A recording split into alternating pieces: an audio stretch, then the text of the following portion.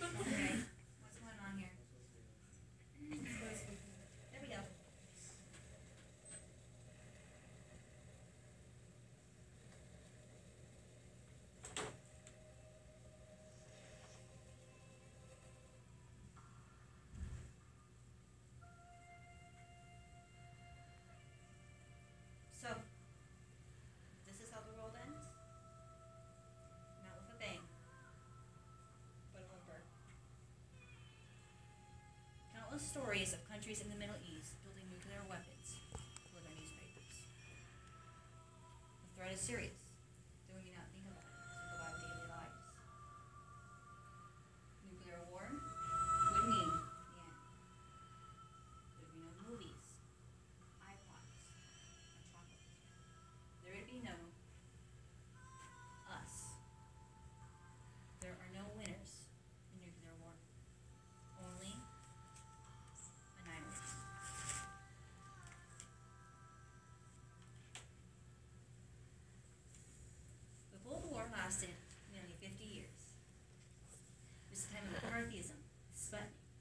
greatest arms race the world has ever seen as two superpowers struggled for control.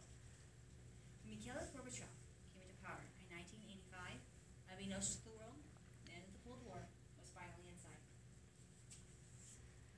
On December 25th, 1991, Gorbachev left the Kremlin for the last time. The Cold War ended, and the Soviet Union was no more. The Cold War ended three to four years before most of us were born. I want to take a moment to think about that. You guys, but when I think of the Cold War, I think of prehistoric times when dinosaurs roamed the earth. Hmm. Not three measly years before I was born. The dissolve of the USSR can be attributed to many things. Some would even say it was inevitable due to the structure of communism. Americans. But the real reason Soviet Russia collapsed was because of Gorbachev's policies, the Soviet Eastern Bloc countries succeeding, and the dire economic crisis of Russia. Glasnost, literally meaning giving voice, was the greatest loosening of the communist grip since Brezhnev, one of Gorbachev's predecessors, and things did not work out well for him. Glasnost was by no means complete freedom in the beginning. According to the from the returns, one reporter was told to be he had said 60% of people polled supported Gorbachev's policies. That's actually pretty good. But Gorbachev had said everyone supported his policies. Thing about freedom, though, once it's given, it's impossible to stop. And Glasnost came to resemble what we know as our freedom of speech. Newspapers could cover world events, organized crime, Stalin's terror. They could even criticize the government.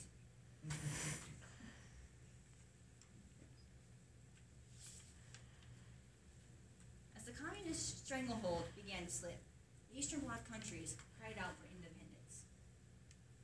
And one after another, they slipped away, and not a single hand was raised to protest. According to the Treisman, Gorbachev once told his aide, in reply to his concerns about the Eastern Bloc succeeding, we're sick of us and we're sick of them. Let's live in a new way. That's fine.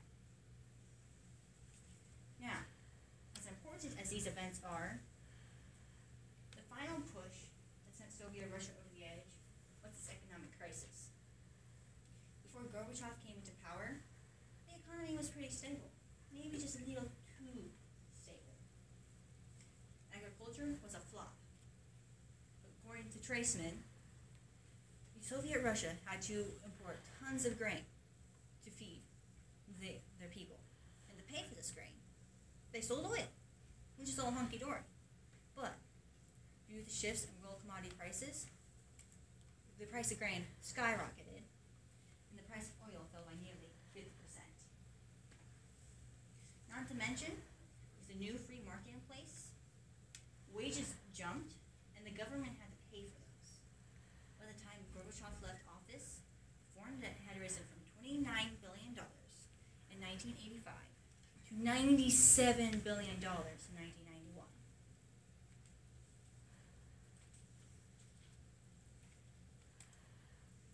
The Cold War gave the appearance of a peaceful society, but underneath lied a tension fraught with nuclear annihilation. Gorbachev saw and understood what it would mean to have a nuclear war, and so he began to disarm. The Cold War really ended because there was very little sense of military vulnerability. By the time Gorbachev was in power, most of the US's buildup had ceased, and Soviet experts were confident, according to the Treisman, that they could outwit any US missile. And this is basically how it goes. My armada is bigger than yours. And ten, ten months in office, Gorbachev had declared the goal of a nuclear free world by the year 2000.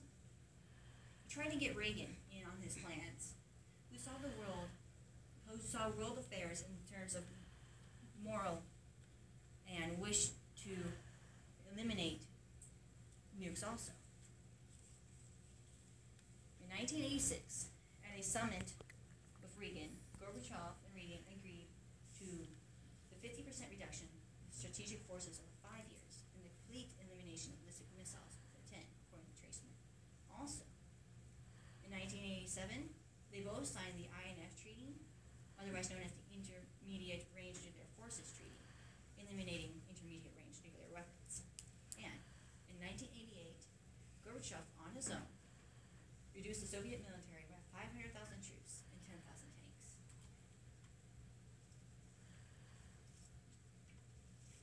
Gorbachev's application for disarmament resulted in and became the basis for better international relationships, as we know today. According to NobelPrize.org, Gorbachev was once awarded the Nobel Peace Prize for international relationships because he allowed the Eastern Bloc countries to secede from Soviet Russia peacefully. His relationships with the U.S., basically ensuring the world was safe from a nuclear war, which would be very terrible, World War III. And he helped tear down the Berlin Wall, finally reuniting East and West Germany.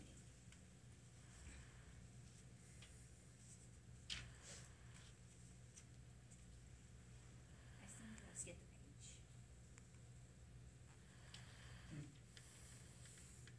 In the nuclear age, mankind must develop a new political thinking and a new concept of the world which provides sound guarantees for the survival of mankind. The world we have inherited belongs to present and future generations alike.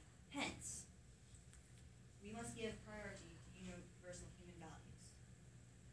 According to freedominfo.org, this is the opening statement of the Delhi Declaration on the principles of a nuclear weapon-free nonviolent world. This document is largely forgotten as we deal with countries in the Middle East and as we face the terrors of possible nuclear annihilation. Some principles of the Delhi Declaration make a lot of sense. I don't see why we cannot treat everyone like this. Human life must be acknowledged as a supreme value. Nonviolence must become the basis of human coexistence, and the right of every state to political and economic independence must be acknowledged and respected, according to freedominfo.org. Gorbachev never intended for the USSR to fall apart. But because of him, in Russia. Dissolved, nuclear